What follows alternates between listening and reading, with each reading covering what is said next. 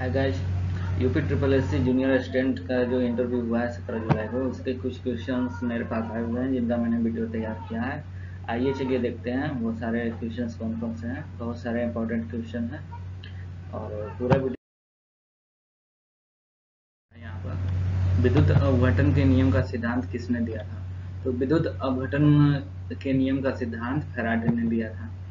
उसके बाद जो क्वेश्चन पूछा गया हाइड्रोजन गैस गुब्बारा ऊपर की ओर उठता है क्यों कारण बताओ इसका तो आप लोग देखते हैं हाइड्रोजन गैस जिस गुब्बारे में भरा भरा जाता है, वो सब वो गुब्बारा ऊपर की ओर उड़ने लगता है। तो उसका कारण ये है कि हाइड्रोजन गैस हवा से हल्की होती है और हाइड्रोजन गुब्बारे का वज़न उसके द्वारा हटाए हुए हवा के वज़न से कम होता है। इसलिए गुब्बारा ऊपर की ओर उठने लगता है। और इसके बाद जो पूछा गया टेलीस्कोप का आविष्कार किसने किया था, टेलीस्कोप का आविष्कार गैलोलियो ने किया था पूरा वीडियो ज़रूर देखिएगा, क्योंकि बहुत सारे इंपॉर्टेंट क्वेश्चन है।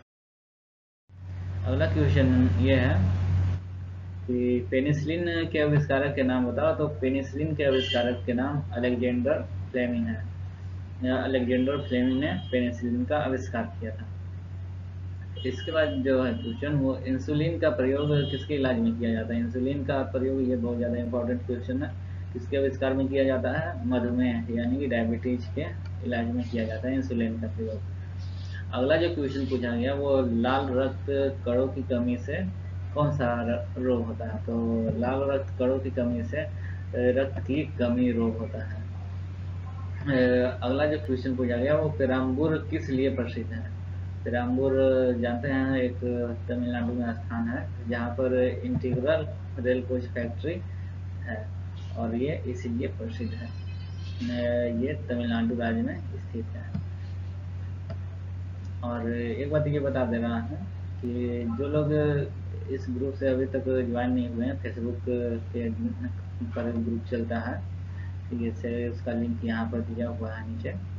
इस ग्रुप में जाइए और ज्वाइन कीजिए ग्रुप को, क्योंकि यहाँ पर बहुत सारे स्टडी से संबंधित चर्चाएँ होती हैं और बहुत सारे क्वेश्चंस बहुत सारी तैयारियाँ भी होती हैं।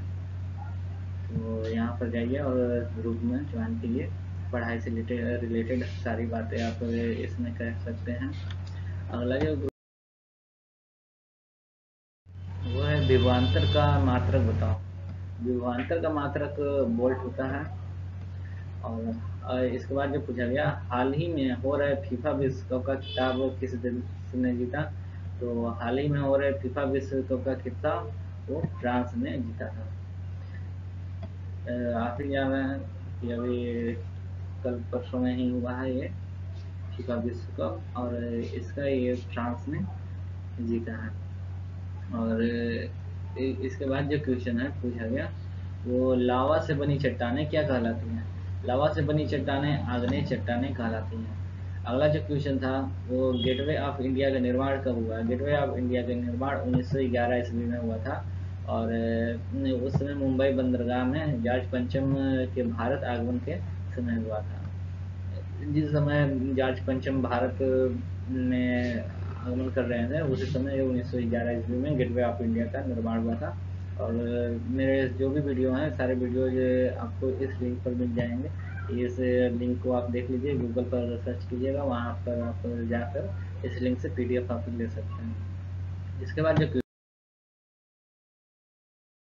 उसके बाद ये क्वेश्चन है कि शांति निकेतन विश्वविद्यालय का निर्माण किसने कराया था? तो शांति निकेतन विश्वविद्यालय के निर्माण रविन्द्रनाथ टैगोर ने कराया था और ये कलकत्ता के समीप है और इसके बाद जो क्वेश्चन पूछा गया, वो जैन धर्म के संस्थापक कौन थे? जैन धर्म के संस्थापक ऋषभ देव थे। और ऋषभ देव थे। इसके बाद अगला क्वेश्चन पूछा गया। बाबर ने अपनी आत्मकथा किस नाम से लिखी? थी बाबर ने अपनी आत्मकथा बाबर नामा नाम से लिखी थी। इसके बाद जो क्वेश्चन था, वो वर्तमान में लोकसभा के सदस्यों की संख्या कितनी है? तो वर्तमान में लोकसभा में सदस्यों की संख्या पाँच सौ बावन है और इन सदस्यों में 530 सदस्य उनतीस राज्यों से तथा 20 सदस्य सात केंद्र शासित प्रदेशों से निर्वाचित होता है और दो सदस्य मनोनीत होते हैं।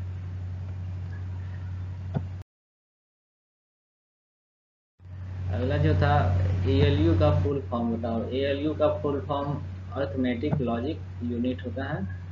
और इसके बाद कंप्यूटर से ही क्वेश्चन पूछा गया है। वो है फ़ंक्शन की कितनी होती है?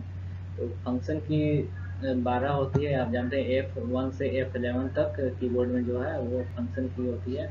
इसके बाद का जो क्वेश्चन है कीबोर्ड में एरो को एरो की किसे एरो की को क्या कहते हैं? तो एरो की को कर्सर कंट्रोल की कहते हैं। एक बात ये बता देना चाहता हूँ जो लोग जिन लोगों का इंटरव्यू हो चुका है, वो लोग अपने जितने भी क्वेश्चन पूछे गए हैं, वो सब इस ईमेल आईडी पर आप लोग भेज सकते हैं ताकि मैं उन क्वेश्चंस को लेकर वीडियो बना सकूँ, क्योंकि इस समय क्वेश्चंस बहुत कम आ रहे हैं और बहुत क्वेश्चन कम आ रहे हैं और आप लोग से रिक्वेस्ट करता हूँ कि जिनका इंटरव्यू हो जा रहा है तो वो लोग अपना क्वेश्चन ज़रूर यहाँ पर इस ईमेल आईडी पर भेज दें। Self guide study at the rate G mail dot com आगे चलिए देखते हैं। वो है छौ नृत्य कहाँ की लोक नृत्य है? ये देखिए क्वेश्चन इसलिए पूछा गया क्योंकि उत्तर प्रदेश से सटे हुए राज्य हैं ये सब। और उत्तर प्रदेश से सटे हुए राज्य जितने भी हैं, वो उनके बारे में आपको जानकारी होनी चाहिए, क्योंकि क्वेश्चन कहीं से भी उठ सकता है। तो वो है झारखंड की। झारखंड के लोक नृत्य का नाम छौ नृत्य है। और इसके बाद पूछा गया, इक्कीसवां कॉमनवेल्थ गेम कहाँ पर आयोजित हुआ था? तो इक्कीसवा कॉमनवेल्थ गेम ऑस्ट्रेलिया के गोल्ड कास्ट सिटी में आयोजित हुआ था। इसके बाद जो क्वेश्चन पूछा गया इसके बाद जो क्वेश्चन पूछा गया है, वो उत्तर प्रदेश के सीमावर्ती देश कौन सा है? तो उत्तर प्रदेश के सीमावर्ती देश का नाम नेपाल है। एक ही देश है उत्तर प्रदेश के सीमावर्ती। और इसके बाद जो अगला क्वेश्चन है, वो उत्तर प्रदेश में प्रथम रेलगाड़ी कब चलाई गई थी? अठारह ईस्वी में प्रथम रेलगाड़ी चलाई गई थी और ये इलाहाबाद से कानपुर के बीच चलाई गई थी। इसके बाद हिंदी के कुछ क्वेश्चन हैं। हिंदी की तालब जो ध्वनिया कौन सी हैं बताओ उसे। तो तालब ध्वनिया च, छ और झ अगला था व्यंजन संधि का कोई एक उदाहरण बताओ। तो व्यंजन संधि का एक उदाहरण ये है, दिग, धन अंबर बराबर दिगंबर। और एक चीज़ इसमें ये बताना चाह रहा हूँ कि मैंने जितने भी अब तक वीडियो अपलोड किए हैं, उन सब वीडियो को एक बार ज़रूर देखिएगा, क्योंकि ये क्वेश्चंस बहुत सारे दोहराए जा रहे हैं। और मैं दोहराए हुए क्वेश्चंस को अपने वीडियो में नहीं लेता हूँ। और इसलिए आप पिछला वीडियो ज़रूर देखें, क्योंकि बहुत सारे क्वेश्चंस पूछे जा रहे हैं जो कि रिवाइज किए जा रहे हैं। और एक चीज़ ये है कि यूपी से रिलेटेड जो भी योजनाएँ चल रही हैं, उन योजनाओं को आप ज़रूर जानिए और उस पर मैंने अलग वीडियो बनाया है यूपी से संबंधित योजनाओं पर, जो कि पूछे जा रहे हैं इंटरव्यू में। और केंद्र में चल रही योजनाओं के बारे में वो भी आप लोग देख लीजिएगा। मैंने अभी उस पर वीडियो नहीं बनाया है, लेकिन वो वीडियो मैं जल्द ही बना दूँगा। और चलिए आगे, चलिए देखते हैं। अगला बहुत इम्पोर्टेंट सूचना है कि जो लोग अब यह वीडियो पहली बार देख रहे हैं, वो लोग मेरे चैनल को सब्सक्राइब करना ना भूलें, क्योंकि मैं जो भी वीडियो डालूँगा, वो आप तक आसानी से पहुँच जाएँगे।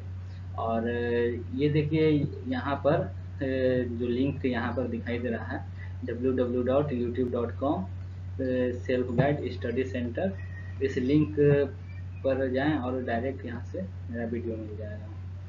अगर आपको मेरा वीडियो पसंद आया हो तो इसे लाइक करें शेयर करें अपने दोस्तों के साथ और सब्सक्राइब ज़रूर करें। धन्यवाद।